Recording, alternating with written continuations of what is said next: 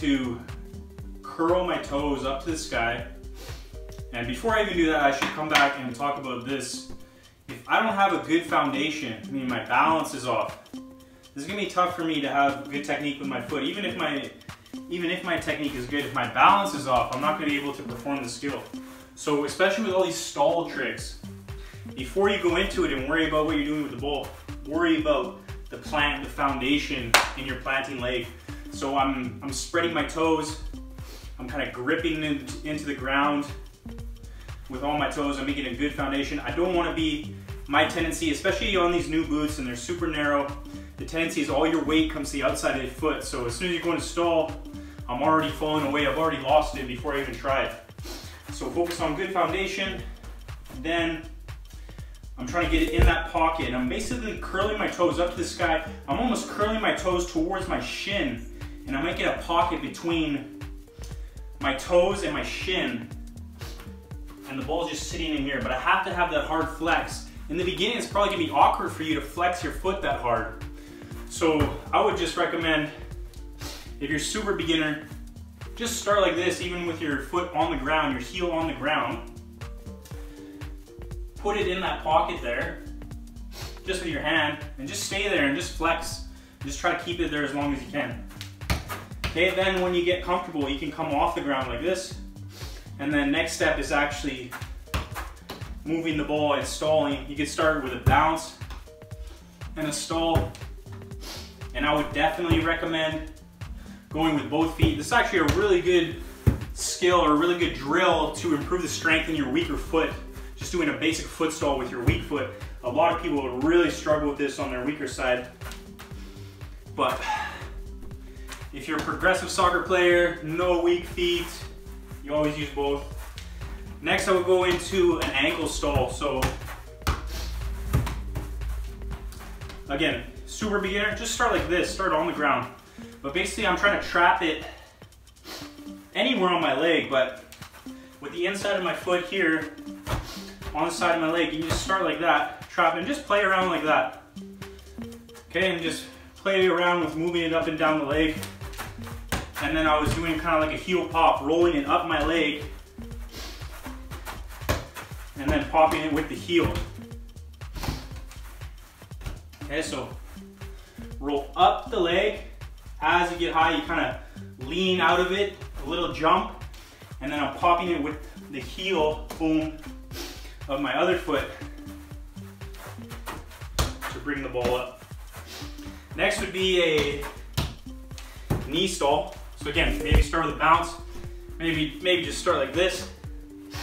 And it's a little tricky depending on the angle, but it's all about timing with this one. You're trying to clap, trying to clap your knees together at the right time with appropriate weight from both sides. So it's a little bit timing and kind of, and watch how I'm kind of like watching the ball as it comes here and just almost, I'm almost like getting out of the way here and as it lands, just clapping, bringing my knees together. Not too hard. If you're too hard, let's see. If you're too hard, it's, it's gonna pop out. Okay, so it's like a subtle, it's like a soft, a soft absorption. And you can come out of it in several different ways, as you'll see in this video. Next, I'm doing a head stall. Okay, so head stall, and it's tough. Again, with all these, start with the ball in your hand, super beginner, and just place it there. But most players will struggle with this. Let me do a bit.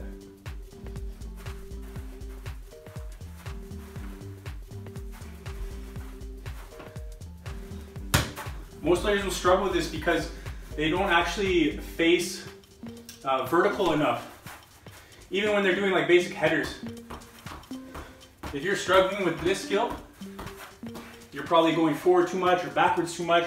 You have to find that proper uh, angle of the neck so you're straight up to the sky. And then it's all about the little adjustments. As the ball moves, ball's not gonna stay perfectly still. So I have to adjust my head I'll give you a better example than that. I have to adjust my head and move with it and the rotate or the the core control to stay under the ball as the ball moves. Okay, so as it moves, I'll move with it. After a certain point, you get pretty good at keeping it still.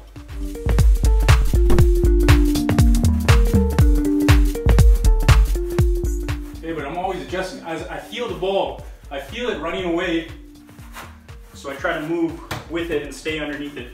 But again, just start with the hands, and then over time,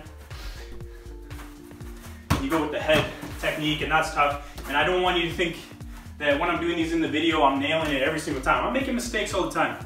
You're gonna make mistakes in the beginning. Biggest thing with any skill, whether it's freestyle tricks or shooting technique, any new skill that you're trying, you're going to make mistakes. Don't expect yourself to be good when you just started. Mistakes are part of it. Just don't allow yourself to get frustrated. If you can control anger and frustration, you will improve much faster. So many kids will try a few times, young players, any age, get frustrated right away, give up, never improve, go on to something they're good at rather than trying to get better at things that they're not good at. You want to struggle. Challenge is good. Challenge is what makes you better. So just compose yourself, no frustration, no anger. Just analyze. If I'm always screwing up, just don't screw up in the same way. Okay, so if I'm always doing, let's say for example, this head stall, if I'm always doing this and the ball always falls forward, I'm gonna say, I'm not gonna allow it to fall forward. If anything, I'm gonna make it fall backwards.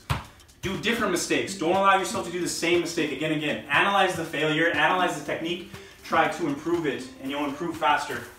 But just keep calm, keep playing, have fun with the ball, it's all good. So we actually missed one there, skipped one, which was this next stall. So I'm cupping it between my shoulder blades. Now like super beginner would be, I would say like really flex the arms and especially like if you're a young player or you don't have any muscle definition in your back, you're really gonna have to overemphasize the squeeze of the shoulder blades because I'm making a pocket in here and in here I'm making a pocket. So if I don't have a muscle definition in my back, it's gonna be a bit tougher and I really have to overemphasize that. For me, I can, I'm pretty casual with it. I can, I don't have to flex too much, but if I really wanna keep it up there, I should do a little more of a flex there. But I'm keeping it in that pocket there.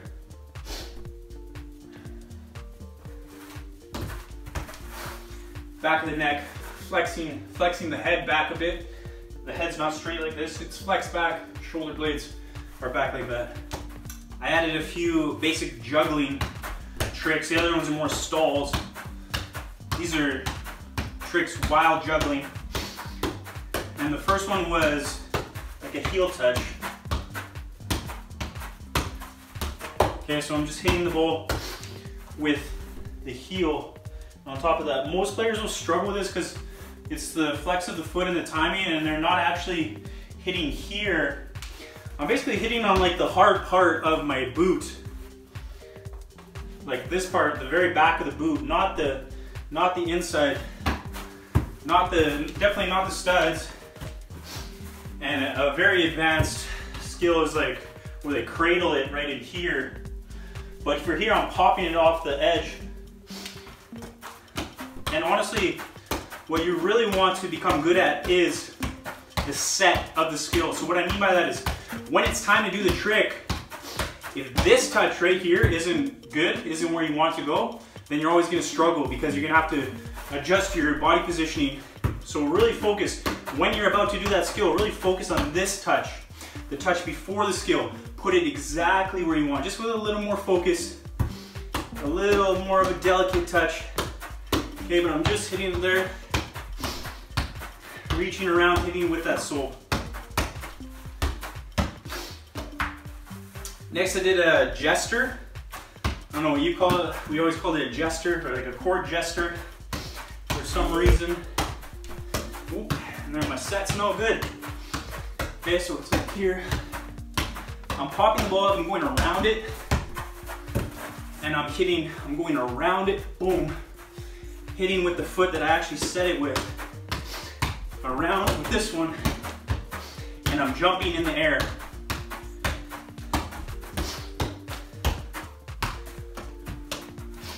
Okay, play with that one, and again, try with both feet, always try with both feet, especially from the beginning. Don't wait for 10 years of doing 10 years of playing soccer, playing football, then decide to improve your weak foot. Do it from the beginning. I've never had, I've never had bad feet because I've never had a weak foot. Maybe my left wasn't as good as my right for a while. Now they're both the same. My weaker foot might even be better than my strong foot in many ways because I always do skills, drills with both feet. Last skill we did was around the world.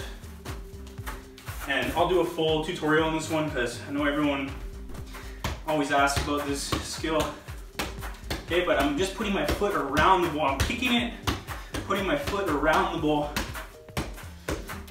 and keeping it up, getting back to it before the ball hits the ground. So left foot better.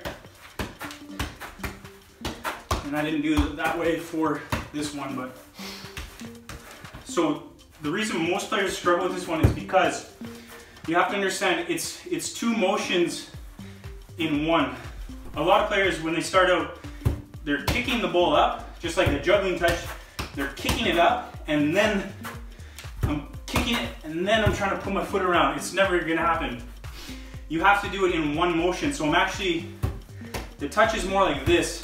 It's not a normal juggle touch. It's like a freestyle juggle, they would call it, like freestyle jugglers. Freestyle jugglers usually juggle something like this with no spin, so they can perform tricks better. When you have spin on the bowl, it's tougher to do a lot of skills. But when you're doing that around the world touch, use that freestyle juggler touch at the same time. So you're not kicking it and then going. It's at the same time. I'm picking up and I'm already starting my circle in that motion. Same time. Okay, so it's a touch and a circle at the same time. And then I just get back to it before the ball hits the ground.